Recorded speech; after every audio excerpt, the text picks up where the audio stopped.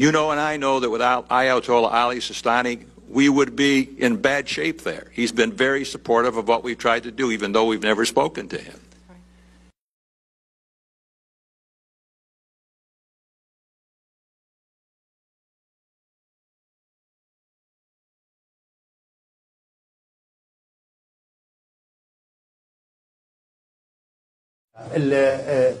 التواصل المحتل ومن خلال من خلال برامر مع المرجعية يعني تواصل اولا غير رسمي. هذا لازم لازم يعرفه ابناء شعبنا طيب. وللتاريخ يعني. مو تواصل رسمي. هذا رقم واحد. رقم اثنين المرجعية لا تجيبه على رسائله المكتوبة. كان يبعث رسائل مكتوبة؟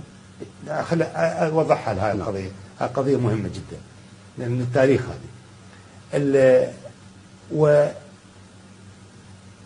ما كان مجلس الحكم يعرف بالرسائل التي يبعثها برمر إلى المرجعية.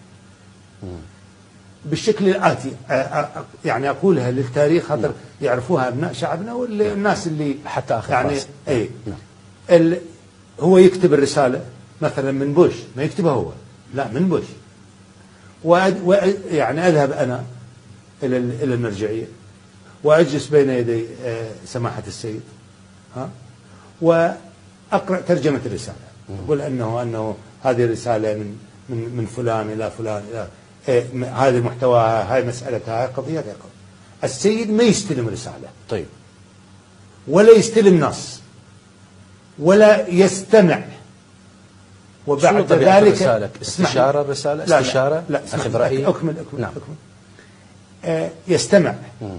ولا يجيبه لا يجيب الرئيس الأمريكي نعم. ولا برامات نعم. إنما يتحدث لي مم. وبما يفهم من حديث السيد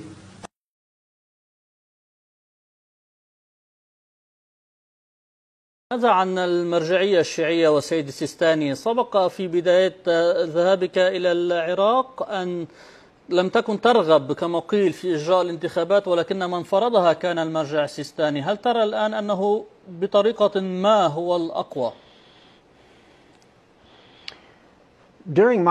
خلال وقتي في العراق كانت لي الكثير من الاتصالات الودي الودية مع آية الله السيستاني. وأعتقد أن رؤيته للعراق كانت مشابهة لرؤية الحكومة الأمريكية بمعنى حكومة تمثيلية تمثل كل العراق. وأعتقد أنه لعب دورا مفيدا.